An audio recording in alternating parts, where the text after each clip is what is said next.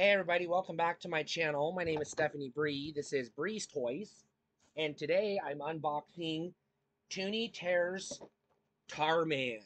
Now Tarman is by far my favorite zombie character from any zombie movie. Um, for one, he has a name. And two, he's got personality. He actually talks in the movie. His one line is, brains. If you've ever seen uh, Return of the Living Dead, this is the movie where the trope that zombies eat brains comes from.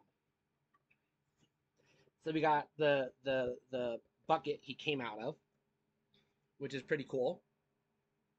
Let's go ahead and open it up and see how he uh, operates. See what all he comes with. So, interestingly, this is the first Toony Terror I ever bought that came with a stand. So that's cool. That will get lost. So I'll have to show it now because once it gets lost, it's gone. Um, Return of the Living Dead. I won't say it's my favorite zombie movie of all time, but it's definitely top five zombie movies for me. Might be two or three on the list. I don't know.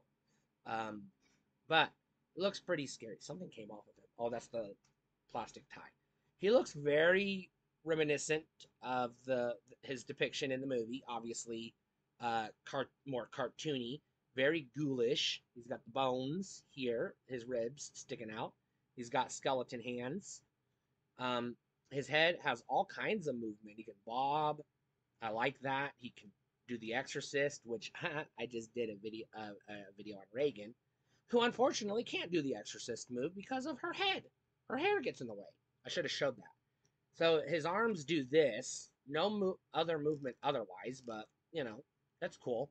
No movement in the legs, but apparently he came with a stand. But I'm not sure how this stand works. Pop it on and see how it works. Nope, it broke. All right, let's toss that in the trash. There he is, Tarman.